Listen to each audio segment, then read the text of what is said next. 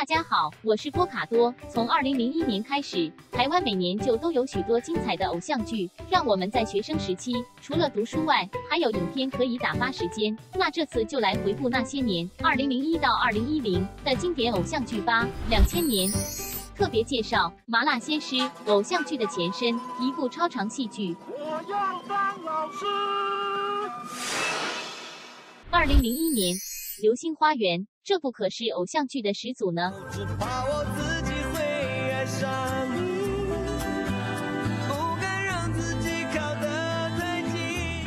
楚思南之吻，有温爷在就是帅。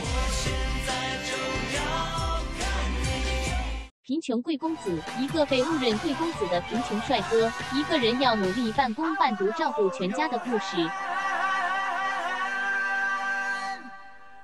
恋爱伤痕，一段亲情与爱情间的矛盾故事。这不可是三位大咖齐聚一起演的戏呢。薰衣草，一段爱与约定的故事，也是陈怡蓉在台湾的第一部作品哦。二零零二年，《爱情大魔咒》F.H.E 的第一部偶像剧，波卡多家里还有这张专辑呢。十八岁的约定，林依晨初登版的偶像剧，是一段师生恋的故事。已故艺人徐伟伦也是要角之一呢。MVP 情人，带起了打篮球以及五六不能亡的风潮。二零零三年，我的秘密花园，三位女孩的爱情故事。海豚湾恋人。一段爱与传说的故事，也让张韶涵开始声名大噪。蔷薇之恋角色里面的长发郑元畅很令人印象深刻。西街少年，当年五六的谐志哥可是帅到掉渣呢。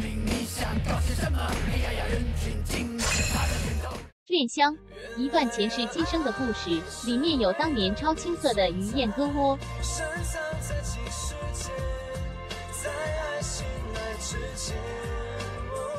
原味的夏天，来自都市与在澎湖长大的青年们邂逅的爱情故事。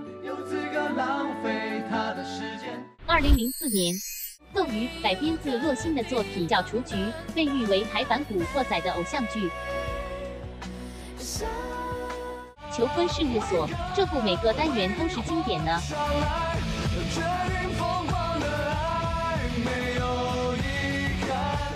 合约故事还不错，主题曲中间旋律好听，当年读高中时很喜欢这一部。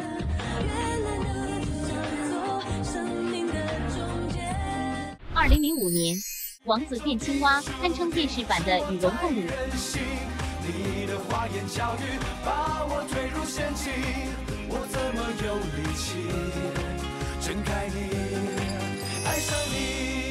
恶魔在身边，这不让人明白坏坏男孩惹人爱。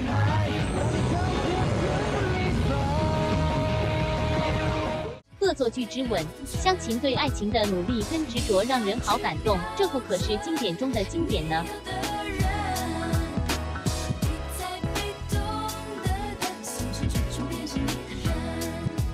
终极一班，特效一堆的大乱斗，都不知道该如何吐槽了。二零零六年，《爱情魔法师》男角都很高，因为都是一八三颗辣波的成员。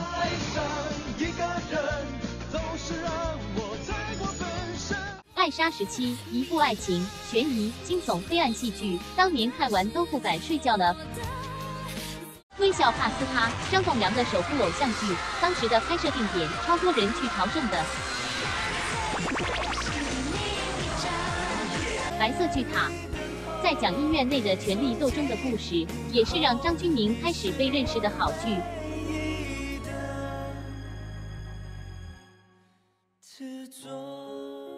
花样少年少女 A 拉超适合扮男装，但这部根本就是吴尊的主场呀。二零零七年，转角遇到爱，这部我还以为九把刀真的有演呢。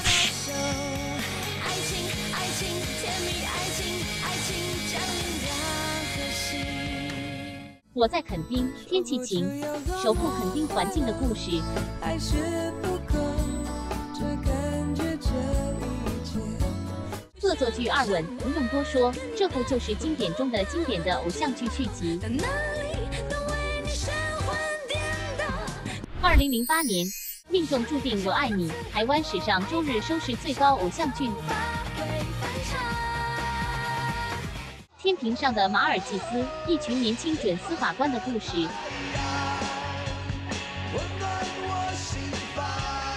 二零零九年，拜权女王，一段三十岁后对人生迷惘，在都市发生的子弟恋故事。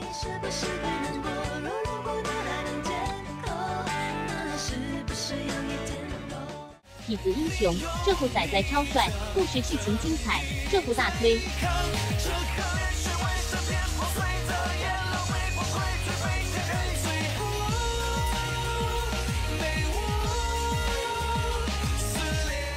下一站，幸福。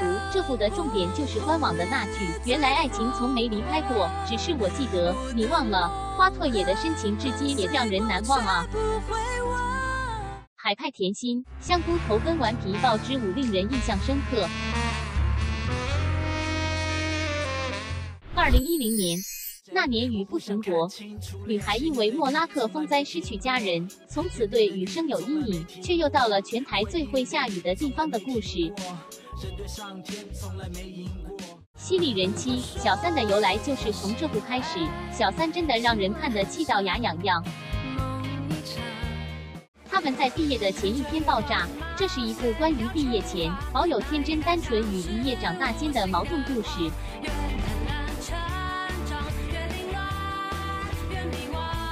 以上就是二零零一年到二零一零年的经典偶像剧回顾。之后其实也有很多偶像剧也很经典跟好看的，像是二零一一年的《我可能不会爱你》，还有二零一四年的《十六个夏天》也不错。那些年还有哪些偶像剧也很经典，但没出现在影片中呢？欢迎分享给我哟，也欢迎留言跟我说哪部是你的最爱。如果喜欢我的影片，欢迎订阅或分享，顺便到我的粉丝团按个赞哟。那波卡影片，下次见。